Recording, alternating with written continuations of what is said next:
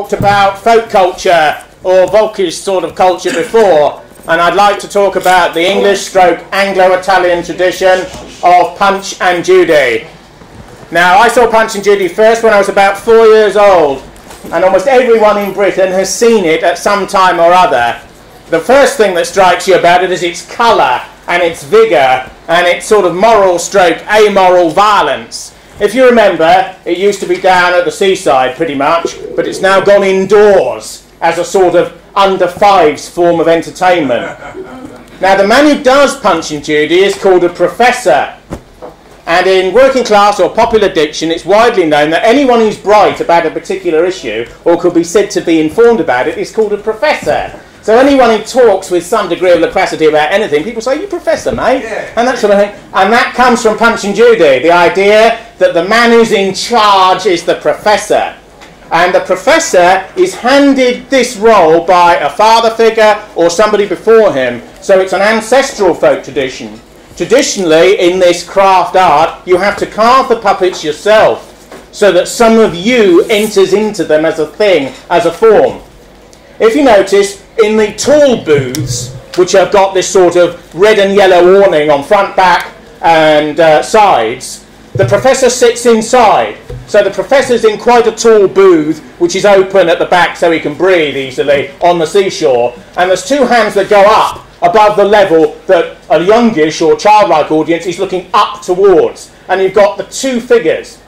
Now, there's a sort of occultistic and mystical element to Punch and Judy because Punch is always on the right of the professor.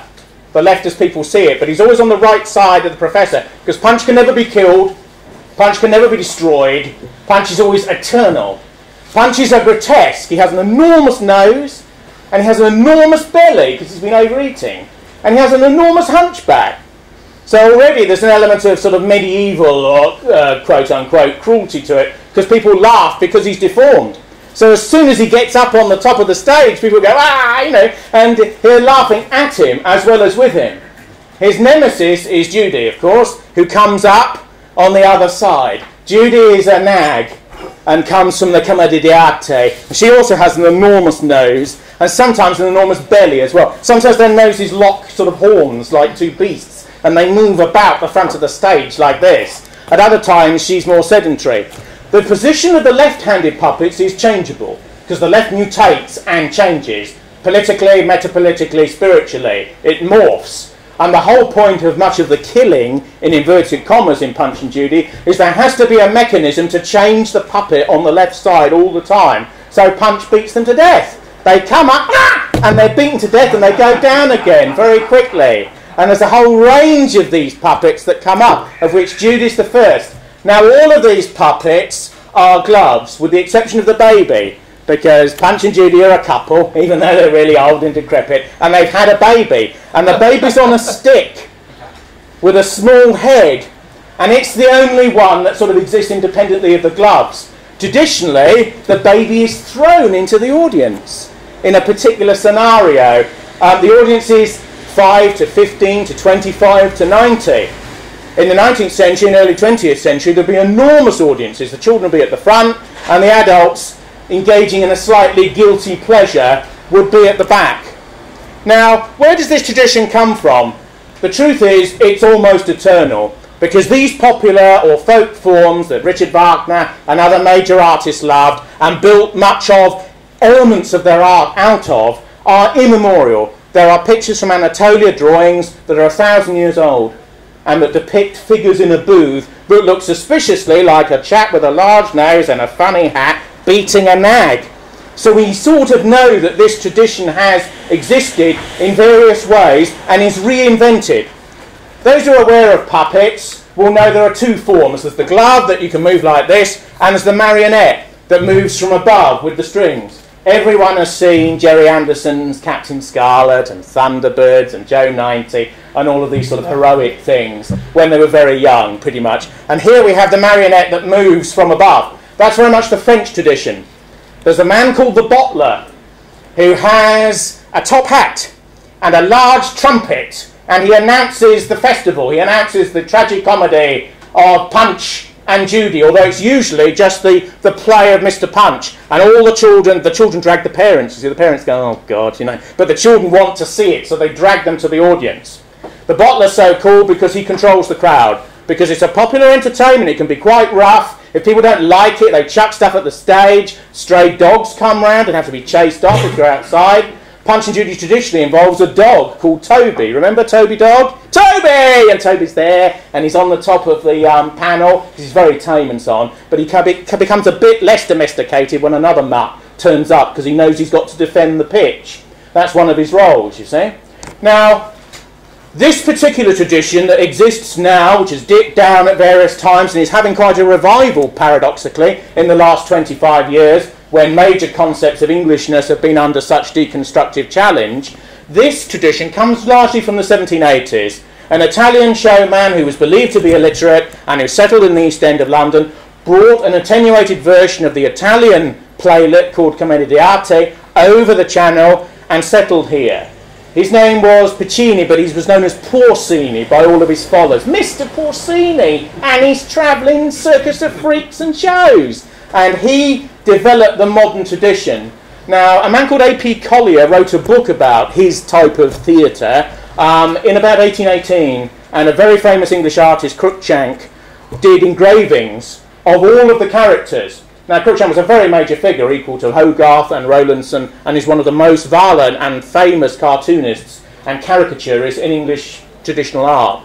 Um, the line and the concept of graphic energy in the line is cardinal to a particular type of Anglo Saxon creativity. And one of the reasons that Puccini, amongst probably other showmen actually, is designated as the originator of the modern tradition, which is almost 250 years old now, is because an artist and a writer, Collier and Cruikshank, put it down. Now, Punch is on the right here and can never be destroyed. Judy comes up. The baby also exists. There's a whole range of other characters. And the um, discourse is modulated as to how adult the audience is and how much they can take. One of the reasons that Judy and Punch nag each other is because he has a mistress. Yes, and the mistress is called Pretty Polly, and hence the term. And Pretty Polly appears occasionally. Polly never speaks, she just sighs. She just goes, oh, oh, oh, like this, and she moves about, and Punch moves around, circling like a shark, you know, with his nose down and the cat waving, and this sort of thing. but Judy's always about to appear, like in the French farce. She's always about to appear. The nose appears on the side of the stage, and all the children go, ah, there she is, you know, and she's back again when Polly's disappeared, you see. What the punchman is doing, what the professor is doing, is every time a new character emerges, he, he takes the glove down, he puts the glove on a hook which is underneath the rim of the stage that the audience can see, and he brings up another character. One of the other characters is Clown Joey. And Clown Joey is a zany, or a zani, in the sort of Italian version of the tradition, a Johnny. Joey is Punch's benevolent side who can never be killed. He never speaks, but he's very irritating. He goes, and Punch says, Why are you doing that? What are you doing that for? You know, it's very, very irritating. Mean, consequently, wants to beat Joey to death. And he, he attempts to get Joey in various ways. Joey dips down, Joey runs to one side, I'm to get you, I'm to get you. And they go back and forth across the top of the stage. He can never kill Joey because Joey is his benevolent side. Now, Punch is sort of non dualist and amoral and attacks everything and everybody, and he's partly deaf because he's old and can't hear what people are saying.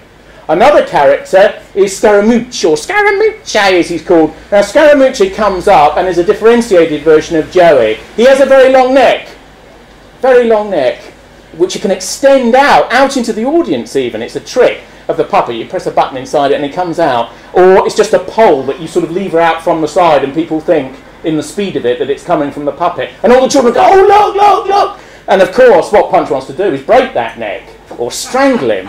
So he tries to get over him and strangle him, of course. But he's indestructible, like Joey, his principal. Another famous character is the crocodile.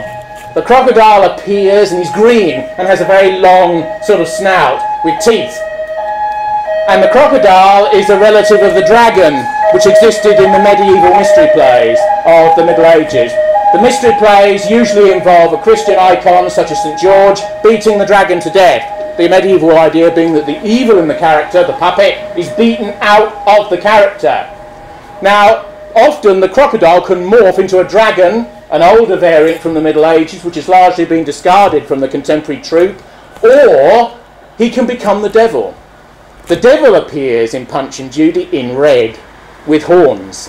And whenever the devil appears, the bottler, who's the sort of middleman between the audience and the stage, goes, Whoa! Look, the devil is here. And the devil comes up. And initially, Punch is frightened of the devil and runs about because you can have sort of distended perspective, if you like. You can have one punch. Say I'm the um, professor. You've got punch here. You've got the stage there. The devil emerges behind. It's sort of on your shoulder, really, you know. But you're down here, so your head can't be seen. And you move punch across, and the devil comes up, and everyone goes Ooh, like this, you know. Um, traditionally, Dr. Johnson said in Boswell's um, autobiography uh, biography of him that Punch is always beating the devil to death, but he's always beating everyone to death, including the minister. The minister or priest or Methodist, as he's sometimes called, is the sort of Christian figure who appears. His hands are glued together because he's so pious, he's always playing, praying, you see. And he comes up and he says, Dearly beloved, you know, we all love Punch. Punch is a sinner, we pray for his reclamation. And Punch says, Shut up, you old fool! And beats him over the back of the head and he goes back down under the top of the stage. I first became very aware of the potency of this sort of tradition for people who are beyond five years of age when I attended an event of the British National Party, which is called the Red, White and Blue. And interestingly, they had a traditional punchman from Lancashire. And the police came on the site to stop it. This is very interesting. The police came on the site to stop it. And the reason that they said they were going to stop it is it didn't have an entertainment license. And this is how things are done in modern Britain.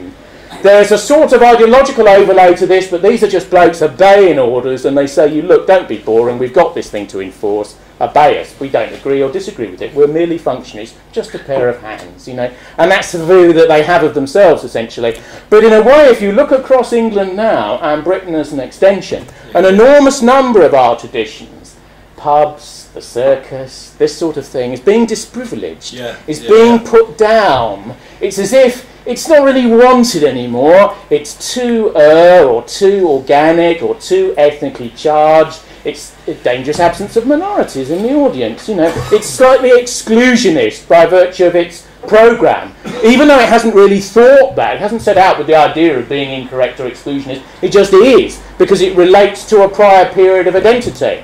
This brings me on to the very politically incorrect elements of Punch and Judy, beyond the quote unquote sexism and the generalised beatings, you know, and the disableism and animalism, stroke speciesism, and all the things which are just glossed.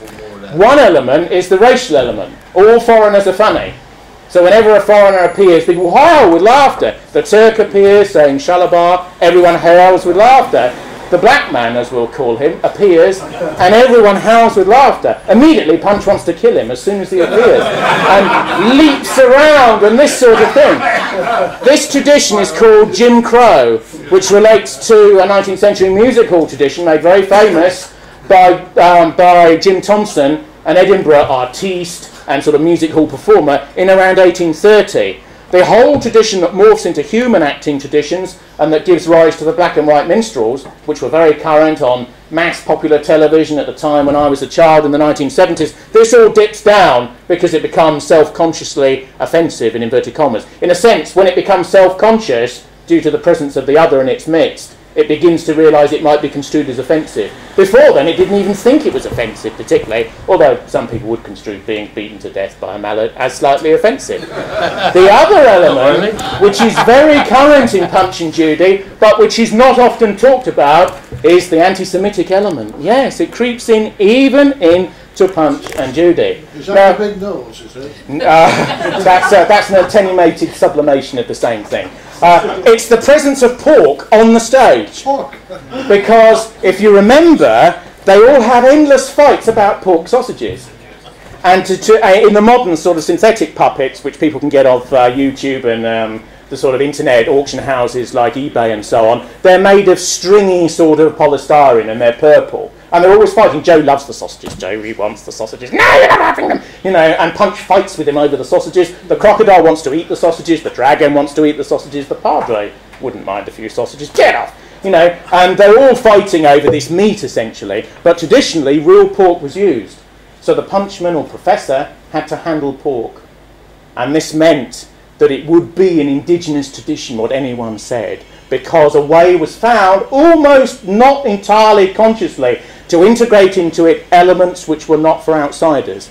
So this is how, in a sense, folk culture evolves. It, it implicitly excludes those that it wants to exclude, essentially. And that's done quite deliberately. Quite deliberately. And there are great routines about he wants to turn all the other characters into sausages. He develops a machine and he puts it on the stage. A policeman comes up, hello, you know, and um, what are you doing, you know? And he wants to turn Joe into a sausage. He wants to turn Scaramucci into a sausage. He wants to turn everyone else into a sausage. The crocodile comes up and wants to eat them. There's lots of sort of jiggery pokery with pans because you cook the sausages in a pan and all this and somebody grabs the pan and he belts them and they go down again and come up behind and if he kills one he feels bad about it but he doesn't really. I haven't got a conscience! And they all scream you haven't got a conscience! And then he screams at the children liars liars!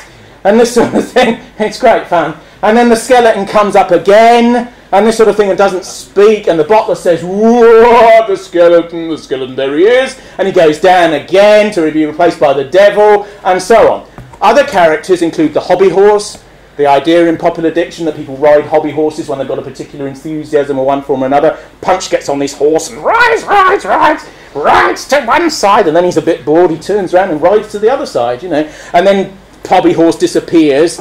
Another character is the doctor Doctors have been hated down the ages by everybody, and this is a chance for the audience to describe how they dislike the Doctor. The Doctor appears with a starch white collar and an enormous moustache, and he's bald and quite posh and snobby. And the Doctor appears, and he goes, Hello, my boy, ill again, ill again, you know. And the Doctor is a complete quack who will be beaten by Punch mercilessly. But of course, he's got a lotion called Physic what you need, my boy, is some physic. Physic is what you need because they're all being beaten up, you see. So what they need is some his snake oil, basically, because he's a snake oil salesman. And the doctor is always, shut up, you quack! And he's always sort of beating him, oh, oh, hitting a man of the cloth, hitting a man of the medical profession. And he goes down again and another one comes up. Now, there's always retribution for Punch's transgressive amoralism. And the retribution is in the form of the law and the state. And the policeman is one, hello, hello, hello, what have you been doing? You've thrown out your baby, you've thrown out your wife, you've beaten the crocodile to death, you're a reprobate, reprobate, you need to be hanged. And Punch is deaf, you see, because he's old. And he always says, I don't want to be fanged. No, hanged. Fanged. Uh, spranged. No, no, hanged, boy, you're going to be hanged. You understand? You're going to take some rope, says the policeman over here. And Punch says, I don't want any hope. I don't need any soap. No, he says, rope, rope. And the children are howling because of all of these lexicographical and grammatical and sort of verbal mistakes, which Punch knows full well, because he's dragging out the moment when he's going to be hanged. The traditional way in which he's going to be hanged involves a whole miscellany of characters, some of whom appear or not. Sometimes they're just melded into one. There's the hangman or the executioner who has a hood over his head, and he's often called Jack Ketch, who was a very famous executioner at the beginning of the 18th century. Indeed, when the body was thrown to him, people in the audience would say at Newgate, Catch that, me old son! You know, because Ketch is a catcher, you know? And when he, he, often throws the baby to Ketch, saying, Get out of that, mate! You know, he sort of gets hold of it and goes down at one end of the stage and then pops up again, Oh, I'm having you, boy! You know, and this sort of thing. The other figure of amusement, stroke contempt, stroke state power is the beadle the beadle, who's a figure that sort of died out in English life, traditionally a figure that imposes parishional law on behalf of a rather faceless uh, magistrate in the neighbouring town. The beadle, or as Punch calls him, the black beetle, don't call me that, don't call me that. Um, have you no respect for a man of the law? This is the beadle's view. The beadle directs the gibbet, upon which Punch is going to be hanged for his many, many infractions, which are almost too numerous to mention, including beating the devil to death but we'll come on to that a bit later. There's great that, that, building the gibbet is very important, even though it's usually just a noose in the middle of the um, yellow and red stage. And sometimes the judge is involved, the beadle is involved, the hangman's involved, the policeman's involved, and they're all building it. Punch says, I don't understand how you are to be hanged. And he gets them to illustrate how you're going to be hanged, you see, which is how he traps them. So the Beadles, in a very famous world famous Punch and Judy skit, if you like, or performance within the drama, the Beadle says, Do you mean you've lived for several centuries and you don't know how to be hanged? And he said, That's right, I don't know, I haven't mastered the gift of it, the old son. You, you tell me, how are you hanged? He said, Well, it's only for illustrational purposes, and children don't do this at stage uh, at home. And the beer and the bottle shout, "Get on with it, you old tart!" You know, because you have all this interactive stuff, all this chat going on at the same time, and the noose is swinging and this sort of thing. And the Beadle says, "Well, what do you do, old man? Is you flex your neck." You need a flex neck for a good hanging. You know, you need to be in a certain state to be done in properly. Do you know what I mean? And then you put the rope round you. Do you see what I'm doing? He says, Do you see what you want to try and punch? He goes, Ah, that's very good, very good. I'll give it back to you now. And he puts it back on and he says, You see, you see, my neck is tensed. It's flexed appropriately. The rope's going up. Punch is going, Ah, yes, I see, I see. So you sort of know what's coming. And then the box comes out. Sometimes with somebody else, the boxer, even pretty Polly or somebody, somebody sort of neutral in a way, in quotation marks, may come out and push the box out. And eventually it builds up, and the scree of children are going absolutely berserk because they adore this sort of thing because it's so asocial and so unmediated and so impolite and so non-adult. And that's why they adore it, you see, because it's also an escapism as well. And they know full well what's coming. And the Beadle steps on this box Am I doing it correctly? Yes, yes, sir. Oh, yes, yes, you're doing it very well, you know, and this sort of thing. And eventually, of course, he says, Now it's your turn, boy. You're going to be hanged. You've, I mean, you're an utter reprobate. You've betrayed your wife. No, lies, lies. You're throwing your baby out of the out of the window. Lies, lies, lies. You damn liar. And all this. Then you've beaten the law to death. Lies. And you've attacked a minister of the craft. Lies. And this sort of thing. and I know you're going to pay. You're going to pay. And Punch comes up behind him and says, like this! And he kicks the box away, and the Beadle's hanging like this. Oh, I'm hanged! I'm done in! I'm done in, my love! And he's dead, you see. And uh, Punch is racing around going, and he laughs for ages, you know, in a chilling sort of a way, and says, and says, you're dead, you're dead, and you're not red. You've got no cred, and you're really down in the fire. and all the children are like this, and the adults are getting slightly nervous, you know, um, because there is this element of pure power that's just they're just figurines, you know, that's coming out of the stage, and then there's a sort of a resolution, but there isn't. Now, to get to those moments, because Punch and Judy is an improvisatory show, there are lots of gaps and so on. Often topical figures are introduced there was one show in Brighton with a well-known punchman, Byram, or one of the others who's well-known, where Saddam Hussein figured, where Osama bin Laden figured once, and that was said to be offensive, so that had to be changed. Because, of course, these are just figures against which whom you spit, you know, and throw potatoes and that sort of thing, you know. They're just sort of mob, we're against them figures. Occasionally, Alex Ferguson's head will appear, you know, and people hiss and boo and throw stuff at it. You know, this sort of thing, because almost it's integrative. Anything can be introduced Tony Blair was introduced and people were howling outrage, death to Blair, and this sort of thing, you know, and the noose comes down and everyone cheers, you know, and then it's replaced by somebody else. Um, uh, some of the most famous skits are the following. The thing begins and Punch comes on from the right side and Hello, hello, boys and girls. You know, it sort of begins quite slowly, and then Judy appears. Oh, God. Hello. Oh, hello. Hello, darling. And she produces the baby. The baby appears in the middle of them as this stick. And Punch initially likes the baby. He goes, ah, so nice, yes, lovely, lovely. And then the baby starts crying. Ah, ah. And, Punch goes, oh, shut up, shut up. and it gets worse. And she's going, soothe the baby. And he says, I'll take the baby. And he starts massaging the baby with his club around the head, going, ah, chicory brook, oh, lovely baby, lovely baby. And the baby's going, ah, ah. And he goes, shut up. God, you're so ugly. He goes, he says, Did I really bear you? Of course, my sweet. She says from the side, you know, and in the end, the baby screams so much and becomes so angry and livid and this sort of thing, which is the punchman doing it from underneath where the puppets are, that Punch gets transgressive. And he goes, he starts to indicate he's going to throw the baby into the audience. He goes, one, two, three, and people are going, no, don't do it, and others are going, go ahead, boy, you know, and this, And the butler's going, now, now, is he going to throw it, children? Is he going to do it? Is he going to do it? my God, you know. And they all go, yes, yes. And some go, no, no. And in the end, he throws it right into the uh, audience and that sort of thing. And Judy goes, oh, and almost collapses down because she's on this side. And the, the professor goes, whoop, and she goes down, and punches there. And Punch capers about like a madman, going, no more trouble with that one, you know. And suddenly the skeleton appears, his conscience. And the butler goes, ooh, ooh, there he is. And he's there, but Punch can't see it, you see, because he hasn't got a conscience. And, and, and he, but he's worried by the presence of this, or numinous, the presence of this uh, force, this slightly metaphysical idea, his conscience, which he hasn't got. So he runs about trying to find your conscience, because if you've lost it, you need to find it, don't you? So he's trying to get it back. Where have you gone, man? You know? And so he sort of looks, and the devil, and then the skeleton can come down again to be replaced by Joey. And everyone loves Joey, you see, because it's Punch without any malevolence, which is why Punch can never destroy him. But he's very irritating, Joey. You know, he's always going and doing little experiments, you know, and this sort of little tricks. And Punch goes, "God, you're so boring! I want to beat you to death!" You know, which is, you know, a response to a bad and tedious vaudeville turn. And um, so Joey always escapes and always manages to get away, and usually reappears with sausages, which Punch adores. And Punch goes, ah, sausages!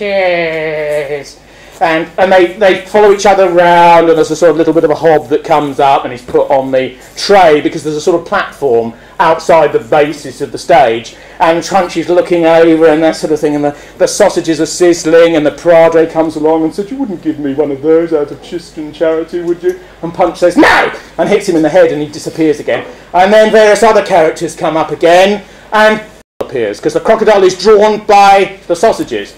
Now, whenever I have performed Punch and Judy with the puppets, you know, for children and adults and children of all ages, and I always configure the crocodile with an Ulster accent. I don't know why.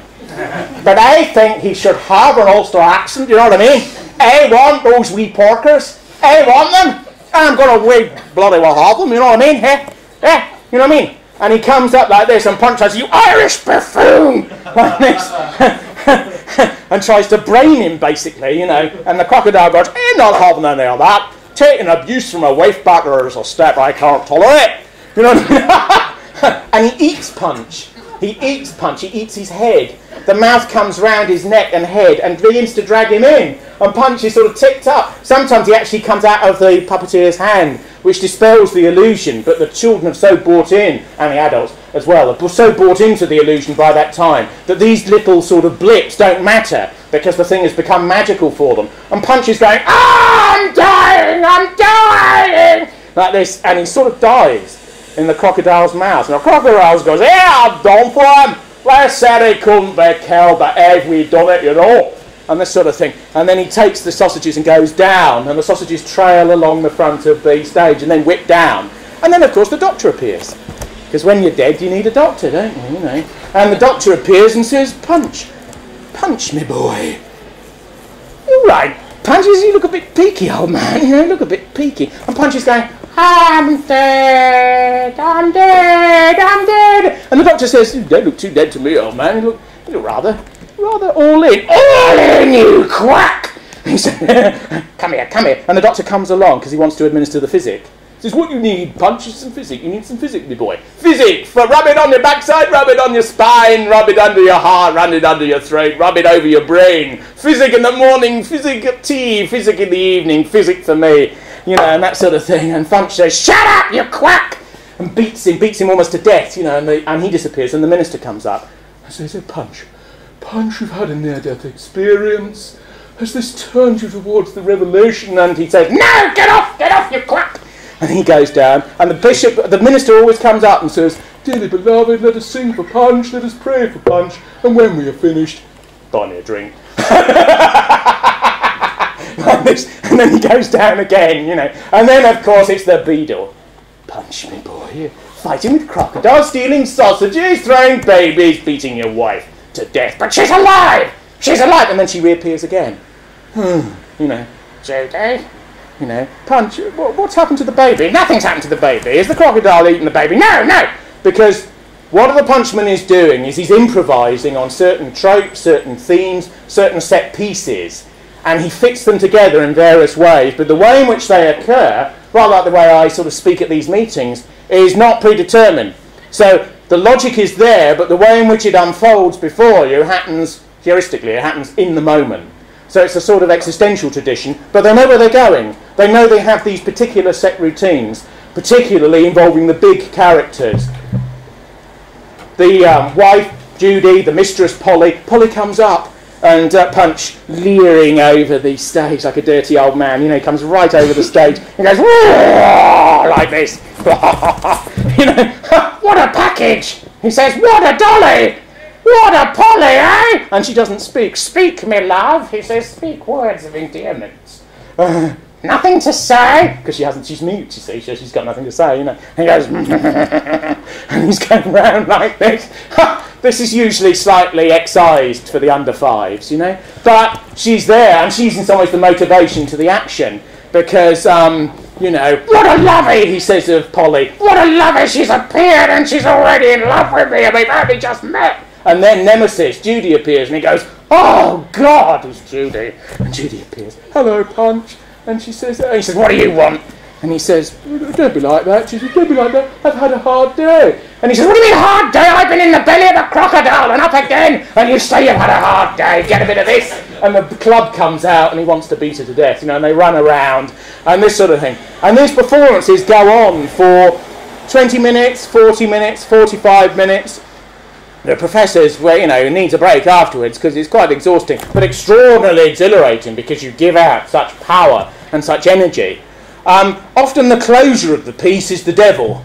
The, the devil comes again from the mystery plays and from medieval license, again as a figure of sort of nemesis, in part to inculcate the idea that Punch is partly heroic when he's actually transgressed against moral norms and against authority and is a showman and a shaman and a trickster and the number one card in the tarot and the one who's always out of step and the one whose card's sort of thrown on the table. Yet he's the one who does for the devil. The devil rarely speaks. He's always red with sort of black sort of cloak, black sort of horns, sort of hook nose. He comes up. And uh, the bottler does a lot with the devil. Ooh, here he is. Ooh, children, aren't you frightened? And the children go, yes. And a few brave ones go, no, no, the devil, you know. And, so, and the devil's there, and, and Punch is wary of the devil, and then they fall on each other. The devil sometimes has an axe, and he has a club.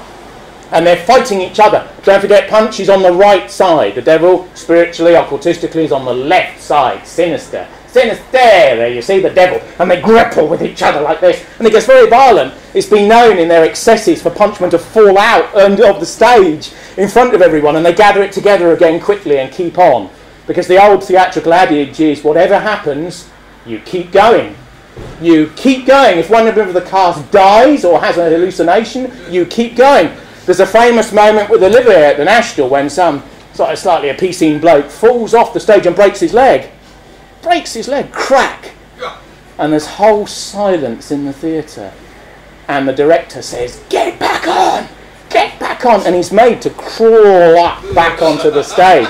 So it's sort of um, all forms of life have their courage, you see. This is the form it takes in that area. And Punch and uh, the devil are fighting with each other, you know, like this. And the devil usually gets the better of Punch and hurls him to the ground and jumps up on top of him. Because he's got, say, Punch is down here, and the professor's hands inside him, and the devil gets on top of him and leaps up and down, you know, but doesn't say anything. Although the bottler provides the verbal sort of amphitheatre. And then Punch throws him off with a Herculean sort of burst that Dr. Johnson would have approved of. Johnson, when asked, said the first, uh, the first, uh, the first Whig was the devil, and Whig, of course, was a term for liberal in that era. And uh, eventually, Punch gets on top of the devil and beats him beats him very severely, beats him down, beats him down to the ground. The devil gets up again, throws him off, he's down on the stage. The devil he leaps on top of him. Punch gets more and more strong. The right seems to dominate, the left more and more. The devil squirms and gets to the side, he drags him back. He gets on top of him, he beats him, he starts leaping and whooping and that sort of thing. And eventually the devil dies and expires. And the bottle comes out from round the back and goes, Children, lords and ladies, mums and dads, the devil is dead, the devil is dead, and the man is done it. I give it to you. He's Mr. Punch. And he takes a bow for killing the devil. He goes, thank you, thank you very much, thank you. You know, mine's a fiver. You know, and the devil's lying there. And there's this amazing moment, which for many years the church used to try and ban these performances because they're often performed outside Mass, they're often performed outside in the churchyard, um, sort of, and they try and move it onto secular ground, if you like. And also, too many people would come in directly out of church and watching it, this rival and or other entertainment. And he leaps on top of the devil and screams, The devil is dead! The devil is dead! The devil is dead, and now you're free to do what you want! Which is quite a sort of transgressive idea, of course. You know, this is an under five audience, you know? And then he dips down. And usually there's a slight interlude bit of music. The bottler gets the trumpet out, which of course is a way, is a grammar, is a punctuation device, is a way of slowing the action because of course you build people up and then you let them go and then you build them up again. Then you usually go to the sequences with the gibbet, which is the attempt at closure. And then after it's all over, of course, the um, curtains on the front of the stage go across because it's just on a switch, just little curtains, and you just whip them across. Um, smaller versions of the red and yellow awnings that go from the top to the bottom. And there's enormous applause because usually, if the, if the punchman's any good, if the professor can do it, you can hold children because of the ferocity and the primal nature of it. It's designed at every moment never to be boring. Do you see what I mean? Because what you do is it's sort of it's a pure cardinal type of performance because it's not intellectual at all. It's completely unmediated. It goes, the energy comes straight out of the performer. It comes into the audience. He rips it back again. They give a lot of energy that he also recycles to them. It's pure theatre. The people who see it when they're very young, particularly the very violent dolls, you know, the very Victorian ones with heavy paper mache heads. So every time punch hits them or brains them, you hear the bang, you hear the clunk, clunk, clunk like this and this sort of thing. Whoa, whoa, whoa! You know, and that sort of thing. It's quite physical, quite animalian, um, also slightly animist. I know there was a famous northern punchman from Bolton who would never allow his characters to be hanged. And when somebody said why, he said, because they're alive. And there is this streak in all of these performance thing related arts, ventriloquism is the most famous, where they do take on a life of their own. I knew a ventriloquist, and the venture and the doll would be in the corner of the room, and the doll would have grey skin and these big red rubbery lips. The doll was completely hideous and had long nails like this, and had a sort of Fauntleroy suit, you know, with a bow tie and a striped waistcoat and that sort of thing. And the doll is the unconscious of the performer, or semi-consciousness of the performer. So you'd say, "Hello, Robert," and he said, "Oh God, that bastard's turned up," and he said, "Shut up, shut up," because the uh, the negative side, the anima, in Jungian terms, would come out of the doll, you see. He doesn't like you, you know, said the doll. And the ventriloquist says, Shut up! Shut up! He's such a bad boy, such a bad boy, you know, because the negative element of the personality comes out of the doll. There's a very famous scatological female ventriloquist, and she insults men in the audience. God, look at him, says the doll. And that sort of thing. and these blokes in these working men's clubs, they come out and they punch the doll. They punch the doll on that, you know, because the doll has insulted them. Because it's alive, you see. It's non dualist. It's the bit that people don't say to avoid social conflict comes out through the doll. And so there's always an aggressive sort of tiger in the room element in all of these forms of popular culture, if you like. Because they're interactive, they have a dangerous side. There's no bully, as it were, because in Garrick's day, in the 18th century, every theatre had a bully. You had men at the corner of the stage with clubs because when traditionally women couldn't be put on the stage because the audience would howl prostitute and this sort of thing. Only at the end of the 19th century with Ellen Terry did it really become respectable for a woman to be on the stage. Many men would get, if they saw a woman on the stage, they would immediately think she was available. So they'd get on the stage and leap towards her. And Garrick would whistle, and a bully would come out of the wings and get hold of the reprobate, flog him, and drag him out into the Strand or drag him out into Charing Cross Road, where the Garrick Theatre now is, and throw them in the dirt. You know, and Mrs. De Zeffrelli or whoever it was would rearrange her bodice and continue the performance, you know. And there's always a trooper, you see, and, you know, just has to keep going. And that type of energy, uh, which is dimmed by television, dimmed by the collapse of vaudeville in our culture in the 1950s. How many of you have seen The Entertainer by John Osborne with Olivier? When at the end there's only three old dears at the back of the audience, music hall's dying in the 50s, and uh, Olivier says, I'm dead, you know, loves. Dead behind the eyes. He says, he's painted up like a clown and so on. Dead, dead. and one of the old dears at the back says, God, this isn't much fun, is it? You know?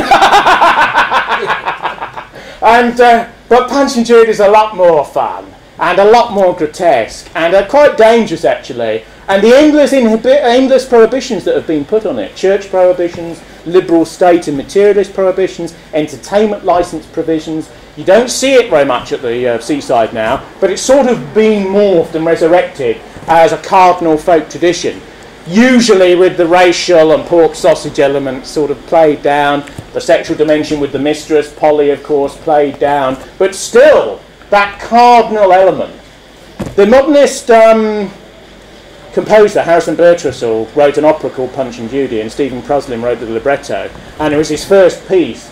And it's a very violent sort of um, expressionistic piece in many ways. Most of the traditional punchmen don't li- like um, Gwyn, Ed- Gwyn Edwards and Michael Byrom and George Speaight, who wrote the cultural history of Punch and Judy, came out about 35 years ago, and certain other Geoff Felix, who's a well-known punchman and wrote a book of recollections which consists of them all talking about their lives and this sort of thing, because many of them led fascinating lives. Traditionally, they would just go about in a cart they had no home. The home was the next tent, the home was the next performance. They lived on what they got in the bottle. Traditionally, they're called bottlers because you go around with a bottle at the end and people put coins in it. A some money for the showman, Gil, some money for your man, the money for the performer. And everyone had just put in some coins and that sort of thing. And at the end of it, they were talking about sort of pre-modern money, of course. That it'd be filled to the lip, and you would smash the bottle in front of the audience, and all the coins would go all over. But you'd have the bottler to get them up quickly again, because that's what you needed to live on until the next performance. You see. Now that won't work because you can't live on 320 a week, you know, which is what coppers filling a bottle would amount to. But people throw fivers and so on. And what they do now is it's in children's parties where in a way the tradition is castrated and slightly emasculated because it's too twee, it's too polite, it's too unutterably nice, and it's too small. The sort of the average living room, the energy that's created by this very macabre theatre, really, is too small. But I personally think that Punch and Judy is an extraordinary example of the folk tradition, and it always makes me smile that you have major cultural Marxists like Theodor Adorno who wrote an enormous 800 page book in the middle of the 20th century called Aesthetic Theory, um, which is the basis of quite a lot of ideas about contemporary culture. And they dislike the cultural industry. They dislike the culture that provide the industry that provides Madonna and uh, Michael Jackson as the colophons, as the things, the icons which you are drawn to adore. You know, the Amy Winehouse types. You know, he dislikes all of that. You know, and um, and yet if you follow through the logic of what Adorno is saying, one of his criticisms must be that it's transplanted these folkish forms, that it's transplanted these organic forms, that it's pushed them to the side. But in all truth, he wouldn't like many of these organic forms in their fauna and flora and in their violence and morality, in their texture of lividness, in their Greek tragedy without necessarily the high words and concepts, because it's called a tragicomedy of Punch and Judy. And the best theatres the very large 19th century ones, which were very elaborate, had the figure of the Attic figures of tragedy, misery, you know, and comedy, humour. Because one moment he's crying, oh God, and the next minute he's beating them to death, you know, and enjoying himself, in other words, you know, or leaping on the devil. You know, wouldn't you like to leap on the devil? You know, um, it's this idea, you see, and it goes from comedy to tragedy to tragicomedy to burlesque to sentimentality and back again. Because popular culture like this really has two nodal points uh, sort of aggression and sentimentality in a way. But the speed with which they interchange with each other can be quite profound and quite sort of liberating for an audience. It often exhausts an audience. The audience is often exhausted at the end of it. They've been to a rally, they've been to the equivalent of a political rally and yet received no ideology. That's the trick of that type of performance. And although it's a distant point, you can say that politicians and people who attempt to influence society, I mean, no academic would give a performance like that, would they? It's contraindicated. You can't do it because you, it's a sort of carnal type of culture where you actually, it's a physiological performance. The words are largely noises, which is why Punch is always making noises, you know, you know, all the time, you know, along with the general thing. One point I haven't made is that the punchman has a device in his mouth called a swazzle, through which he creates this sound. Now, you can create it without that, of course, but the tradition is you have this thing in your mouth. This is quite difficult because you have to have it on a chain or a bit of rope, because when the swazzle's in your mouth, you're doing punch, hello, hello, hello, you know, whack, you know, that sort of thing. But when another character comes on, you've got to split the swazzle out and do them more normally, like the policeman, boy, you up to me, boy, you know, and this sort of thing. So I think there is a there is a, parallel to be drawn between certain types of extremist political speaking and these types of performances, because that type of speaking, which is now completely disprivileged in current political discourse, involves speaking to the whole audience. It involves speaking to the front of the brain, the back of the brain. It involves speaking intellectually, but also cardinally, also semi-carnally. It involves taking energy from the audience and giving it back it's partly a theatrical performance as well as an ideological and semi intellectual one. It's deeply disprivileged now. Hardly any politician can do it. The type of performance that is permitted now is Obama's, mm-hmm.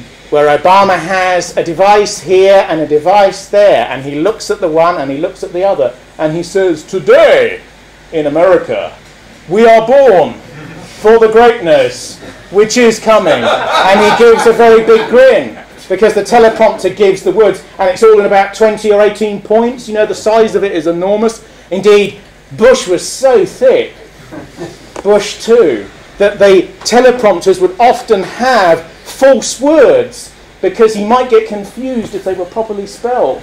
so he had to have these false words like desert would be dessert or something just to get his mouth round it, you know, because it needed to be phonetic. So he would grasp it, so he wouldn't say, gee, what's that? You know, in the middle of it, with the whole media watching him, you know? These terrorists that we need to punish, you know, it's like Gerry Adams Gaelic. Have you ever heard Gerry Adams speak Gaelic? Uh, which is a, his political use of language.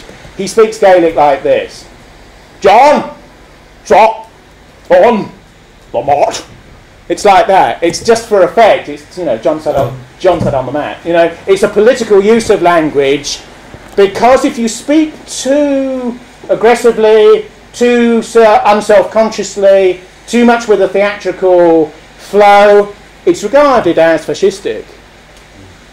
I remember David Owens once, and David Owens is a very poor speaker, you know, sort of paint drying sort of a chap, but he always used to address his Social Democratic Party, that tiny little party that split away even from the SDLP, if you remember all that bother, about 20 years ago. He used to address them in a slightly authoritarian way. He'd be in black, they'd be down there, he'd be up there, and people talked about the new Caesarism, you know, I mean, David Owen, you know. But even something like that, which was not trying to befriend the audience, which was not feeling the audience's pain, which is the Blair and Clinton thing, you know, I feel your pain. I feel your pain. You know, you're reaching out into the audience. You know, these sort of a lie, which of course it's a lie. It's a sort of therapeutic discourse rather than a militaristic one. Do you think Julius Caesar in front of the legions would have spoken like that? Oh, Christ. Do you think Napoleon would have spoken like that? Do you think even Ulysses S. Grant, if you like, you know, would have spoken like that? Or leaders on the Confederate side? Do you think Montgomery could have addressed the Eighth Army like this? You know, reach out to the tankman and say, I feel your pain, you know, and all this. You know, and when you realise that the discourse shapes the nature of the society and shapes the nature of the minds of the people in the society. If you say to you, I'm sorry, you know, you're going to get old, you're going to die, and this sort of thing, I'm so, so, so sorry. What sort of a society will you have if this isn't your last word, but your first? Your first word when you go to a mass audience. But the important thing about public speaking is never to be afraid. The second important thing is never to give a damn. And that means you can just get up in front of people. The third thing, which is an old actor's technique, is you must never be frightened of making a fool of yourself. In actors' college, you go on and they all laugh at you and they think, look at that idiot, you know, and they almost throw things at you and you're, you're, you're sort of, imagine breaking your leg on stage and all this. Because once you've made a mistake, you're less afraid about making another one because you just step over the prospect that you might make one. Another trick to all real performance is domination of the audience. You have to be up there and they're looking at you. And all rock stars and all these other people who use some of these techniques because they've gone into those areas, you see, they're not allowed militarily too much. They're not allowed at all politically because they're mentally authoritarian. So they've gone into other areas. You can never destroy anything. You can just displace it, usually to some internet site you haven't taken down yet. But there is a degree to which These sorts of techniques are very, very useful, particularly in a democratic age, because you can speak to 40 and speak to 3 million using the internet as the weapon to do so. And the irony is, you see, in politics, you don't speak to people's minds. You speak to them physiologically. You speak to what's underneath the mind. Do you think you can raise men up into battle uh, just by talking to the, what's mentally up here? You influence the brains of the men who will influence your discourse to influence them by doing that. But you don't influence them by doing that. Tony Blair once said that we went to war in the past between 1914 and 1918 and 1940 and 45 and all the other wars to fight for tolerance. to fight for inclusion, he said.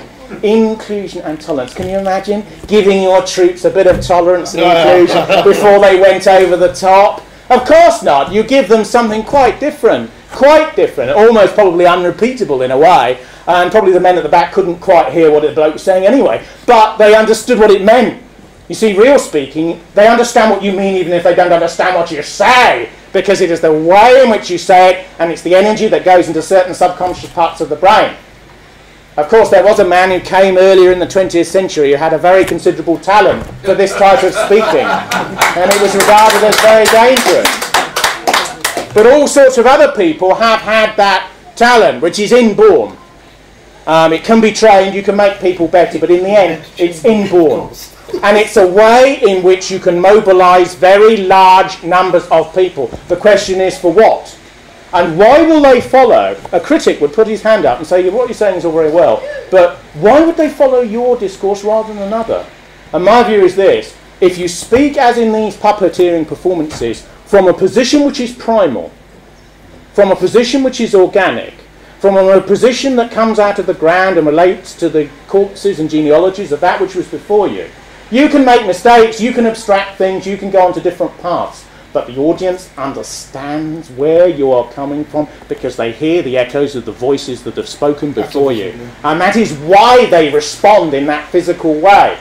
Newton was one, Newton, uh, the scientist, was an incredibly arrogant, slightly sociopathic, and quite unpleasant man, but he was once asked, how did you come across the second law of thermodynamics? Newton in physics discovered the idea that energy in a system always replaces itself when it's used. Now, Newton said something very interesting. For a man who was so full of himself and so full of hubris, as the Greeks would have said, he said, I saw further than the others because I stood on the shoulders of giants. And that is why you can influence an audience because they know what existed before you, and you are basically plugging in. You are putting the plug in the socket and you are turning the switch down. Nietzsche, in one of his books, in Will to Power and in others, the notebooks collected after his death by his sister, says, Not me, not me, but the wind that flows through me. And it's the idea that when you're in such a mode, certain things flow through you from the past, from what is rooted, from what is underneath you, and can affect people can liberates the wrong word, but can free elements of their mind that are otherwise constricted, that can get them to see the truth about life. And that's why there's this odd interconnection between high and low forms of culture, because the high intellectualizes the primal energy of the low. As soon as you begin to theorize or philosophize about the motivation of characters, even though they're made of wood and paper mache, you immediately have tragedy. Because if you begin to understand the motivations of the method of destruction, you're immediately uh, dealing with the questions of Aeschylus' Oresteia. You leap from the very low, if it's organic and rooted, to the very high and can go back again. This is why liberal society is sort of cancerous ultimately of real culture because it divides the interconnectedness between the high and the low and prevents the energy coming up from beneath, from the bottom to the top. A real culture has everyone involved in the culture, not watching the idiocy of Ferguson's latest team of foreign imports, but understanding the nature of their own culture from top to bottom. In Shakespeare's day, the whole society was in the theatre. The lower class, the middling class, the upper class, they were all there all the soil fights and the extreme switches of scenery and the, the, the, the, instantaneous scenes that suddenly they're full of language but they shift and they're very quick. That's to keep it going so people won't get bored. Um, the jester, the fooling Lear, you know, sort of give, your, give me your hand, Ooh, no, I don't know where it's been, you know, that sort of thing. if they were bored, they got tomatoes. Yes, and if they were bored, they would throw fruit and nuts out of the pit, the pit, at the actors, and they realised they had to sort of speed things up. So Henry Irving in the 19th century was very funny. Whether Henry Irving and David Irving are at all related, I've got no idea. But Henry Irving is the greatest actor of late Victorian England, always played monsters always played Mephistopheles, uh, always played these sorts of characters. But when he forgot the lines, he would make it up. Because he was such a so and so. If he was on the heath doing Lear, you know, sort of, you know, um, Ho, bloody beadle, why dost thou whip that whore? Thou lustest to use her for that kind, for which thou whipp'st her you know, which is a couple of stan- a stanza from Lear, and he can't remember the next bit, he'll just go, and as the owls do breach the lofty turns of this tree or storm, which he's just made up, you know, because it's because you've got to have that sort of facility to continue it. And there's somebody in the wings desperately sort of trying to get a message across to you as to what you should be saying, which of course is why the wings are there. Because when you forget your part, the blame's got to go, no, no, you know, and try and give you a bit of it. And um, but the theatrical dimension, the excitement, think how exciting those political meetings would have been before television. Think how enervating and energizing they would be. After one of those sorts of meetings, you'd want to take your entire society over, wouldn't you? Rather than just go back and watch the X Factor on the box. Do you know what I mean? You would, what, you would, you would feel invigorated and empowered, wouldn't you? And that's the purpose of these. They're almost like secular religious events and that's what these forms of culture are. And that is why they're not liked. And that is why they're slightly disprivileged. And that is why they are scorned. Because if you want to win in a battle in a court, you don't speak in this way. But if you wish to take a society back, you take some cognizance of these traditional forms. Thank you very much.